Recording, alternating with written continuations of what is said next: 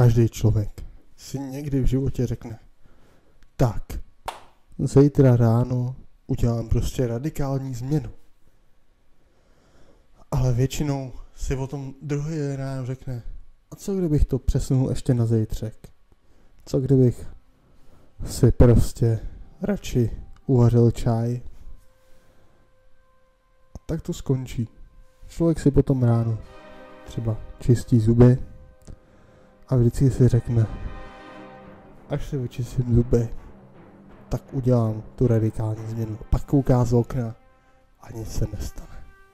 Čeká na autobus, vytírá u babičky, ale nic se neděje. Pak čeká na tramvaj, pak zalevá kytky